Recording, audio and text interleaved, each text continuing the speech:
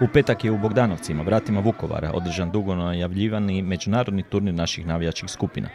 Povod je bila 70 godišnjica NK Kroacije te Dan općine. Od najavljenih navijačkih skupina u Bogdanovci su došli Kohorta, Whitestone, Skripari, Maligani, Ultrasi iz Mostara te veterani Cibalije. Ovaj hvale vrijedan događaj ima cilj kroz nogometnu igru ujediniti i približiti nogometne navijačke skupine. O samoj ideji projekta rekao nam je jedan od organizatora Vladimir Prce, predsjednik NK Kroacije iz Bogdanovaca.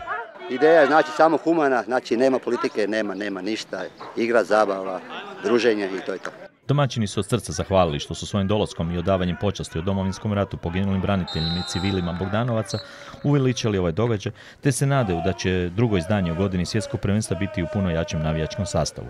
Čim ovaj završi turnir, sješćemo sa ovim dečkima koji su došli da vidimo da li će to moći se planirati dalje. Mi smo imali u planu zvati naše Hrvate iz, iz e, Vojvodine, Hrvate iz Crne Gore, Hrvate iz Njemačke, da napravimo jedan stvarno jednu pravu, pravu priču, da, da, da zajedno sjednemo, da, da zajedno igramo nogome, da zapjevamo, bez obzira ko, ko odakle, iz Slavonije, iz Dalmacije, iz, iz, iz, iz Zagorja ili opće, znači nije bitno. Važan je bio naravno i onaj dio određen na samom terenu. Pobjednici prvog nogometnog turnira navijačkih skupina su veterani Cibalije koji su u finalnom susretu bili bolji od osječke kohorte sa 1-0.